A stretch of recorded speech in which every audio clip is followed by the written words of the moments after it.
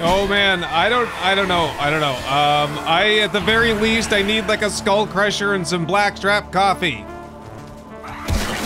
Oh, I just heard a cop blow up. Uh, skull crushers, just, just take them with me. Where are they? I found them. Take one. All right. Are we good now? We're good.